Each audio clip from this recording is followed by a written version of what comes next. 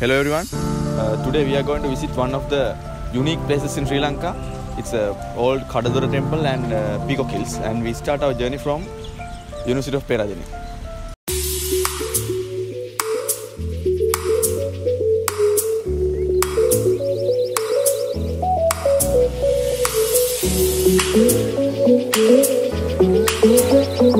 Uh,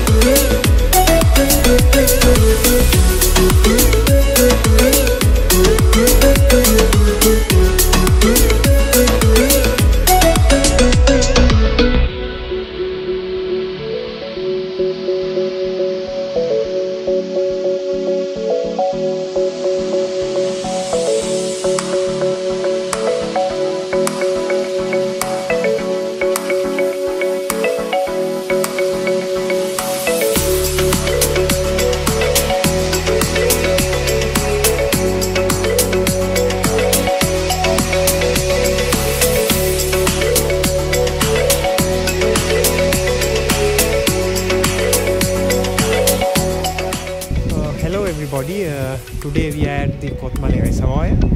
And uh, as you see in my uh, left hand side, uh, this is the old image house of the Kadadora temple uh, actually which went underwater during 1970s when the Kotmale Reservoir was built. And uh, usually during dry seasons this used to emerge out of the water and uh, today we are here to see the ruins of the uh, image house of the old Kadadora temple.